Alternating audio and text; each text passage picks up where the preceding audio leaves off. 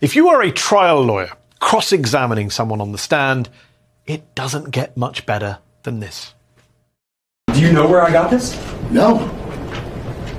Mr. Jones, did you know that 12 days ago, 12 days ago, your attorneys messed up and sent me an entire digital copy of your entire cell phone with every text message you've sent for the past two years, and when informed, did not take any steps to identify it as privileged or protect it in any way.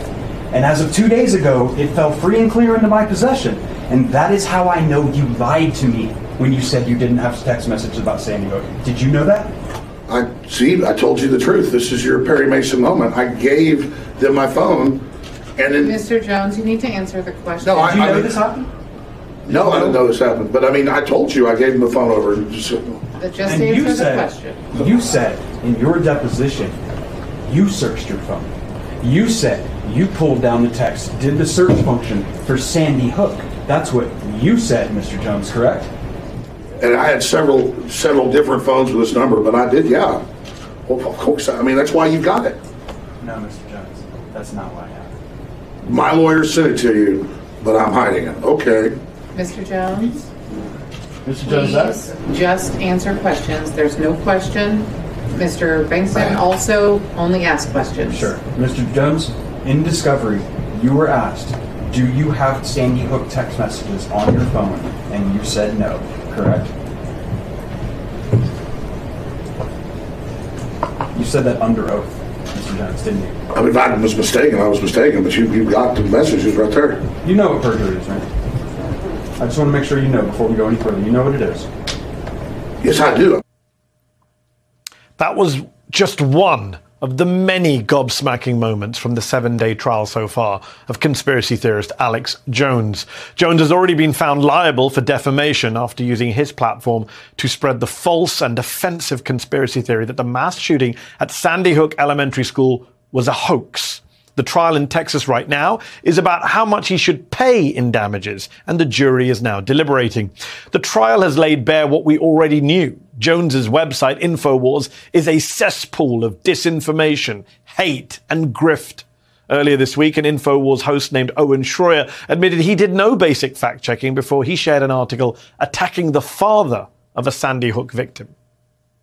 So let me ask you this: If I have, if you get something from a source and you're and you look and say, you know, this source sometimes is reliable, sometimes they're way out there and unreliable. Isn't it incumbent on you to check it and do some sort of vetting before you put it on air? Yes, I could have done a better job. You could have done a job.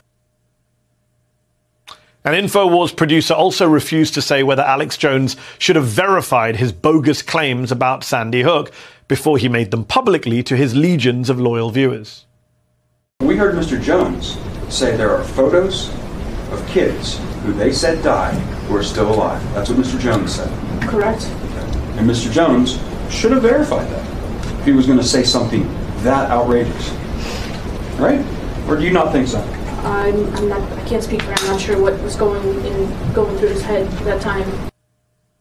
And just yesterday, Judge Maya Guerra Gamble issued Jones a brutal dressing down over his seemingly pathological inability to tell the truth, even while under oath. Mr. Jones,